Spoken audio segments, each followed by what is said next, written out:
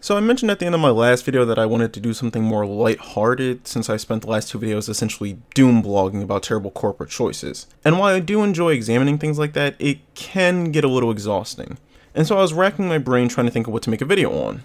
And like a voice above heard me, I was presented with something wonderful. The new trailer for the next season of the Harley Quinn show. And because I haven't had a chance to talk about any comic related shows or comics in general really, I figured I'd take a break, double down, and also talk about the Jurassic League comic run currently happening, and the benefit the two both have on DC Media. So, let's talk about them. Hello everyone, and welcome back to the Void Theater. As always, I'm your host Alexander, and yeah, today we're going to be talking about Harley Quinn and the Jurassic League. Two pieces of DC media that I honestly think are some of the best that the company has produced in a long time. Of course, when I say that, I also realize that for DC that is an extremely low bar, but I do think it's true. These two are some of the best that DC has to offer in terms of entertainment. But why is that? Well, that's what I'm here to figure out. So let's discuss the positives the two have, what they do right compared to other shows and comics, and what that might mean for DC's future in entertainment. So without further ado, let's put these two on stage and see how they work.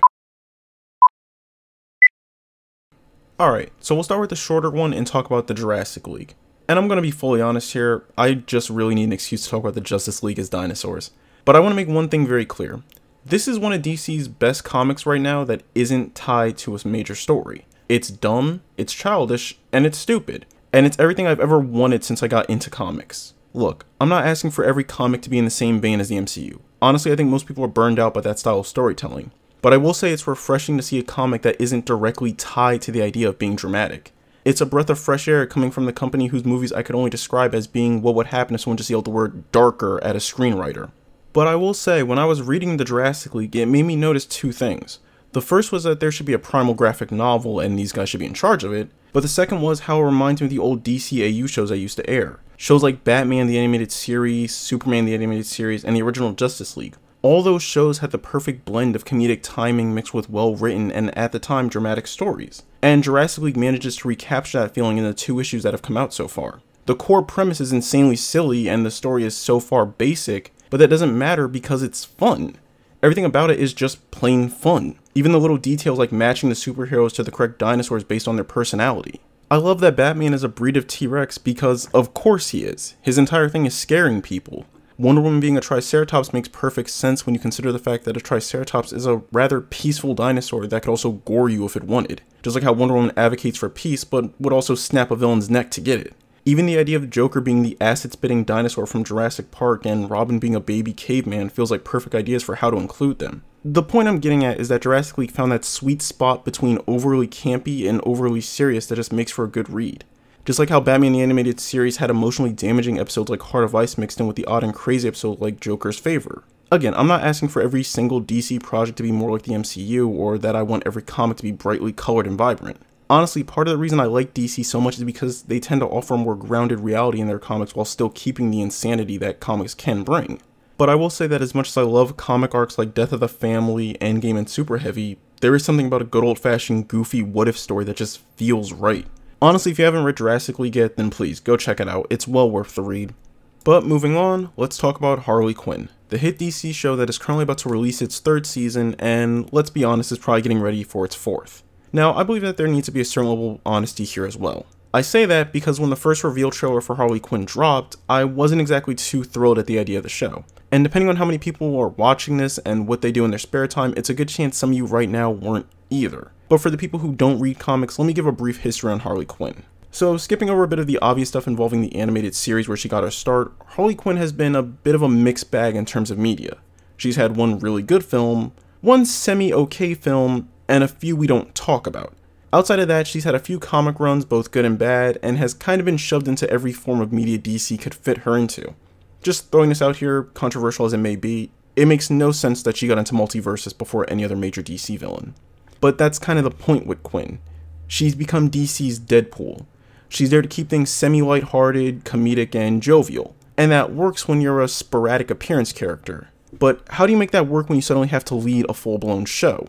Well, you could, and this is just entirely hypothetical, just an idea off the top of my little ghost head, but you could fill the cast with some talented actors, do a bunch of meta commentary on the entire DC universe and its characters, and just not take it too seriously while also having a pretty solid plotline going with relatable characters, and pretty much creating a perfect satire of the superhero genre. You know, something like that. And really, that's what makes Harley Quinn such a good show. It works as an almost perfect level of satire of DC Comics. It easily avoids the danger zone that Teen Titans Go fell into and avoids the issue of making all its characters feel out of character. Batman is still Batman, he just shows more of a humane side. The Joker is still the Joker, but now they gave him this weird family angle to work off. Actually, the only two characters you could argue are out of character are James Gordon and Bane. And to play devil's advocate for a minute, the whole joke with Jim Gordon was to show what a police commissioner would look like if they worked in Gotham for years on end. Even then, the show goes out of its way to show that Gordon still maintains the comic accurate desire to protect the city. They just added the insanity on top as a punchline.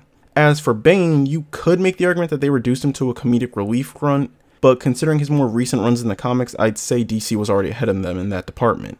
But even then, like Gordon, they do show that Bane is still violent and insanely intelligent. Watching him smash Batman's legs was insanely brutal, but seeing him rage out and go threaten Two-Face only to calm down and apologize for knocking over a chair was just as good. And it's this type of humor that puts Harley Quinn into the same quality as Archer and Venture Bros instead of Teen Titans Go. It has a deep understanding of what the character is supposed to be parodying, and it uses that to the fullest to make the show better without taking them so far to character you barely recognize them. It works in the same way Archer does, where you realize that the concept of James Bond sounds cool in theory, but would be an absolute monster in real life. So they just take that and apply to the whole cast or how Venture Bros takes the concept of the kid adventurers going on all these dangerous expeditions and takes to the thought that the kid doing that stuff probably wouldn't be the most well adjusted adult. And Harley takes the idea that most of the DC superhumans would probably be doing other things besides committing crimes or stopping them. It shows them living their lives and having more human interactions with each other. Honestly, this show feels like what would happen if you put all the DC characters in the office. And it's great for that because that's how Harley acts naturally, but it also provides a new take on the more serious characters we normally see. But that brings us back to DC and why I think things like the Harley Quinn show and the Jurassic League are so important for the company. And it's because they serve as a necessary reminder to remember to loosen up a bit with certain heroes. And the company also desperately needs to remember to have more fun with things like their movies.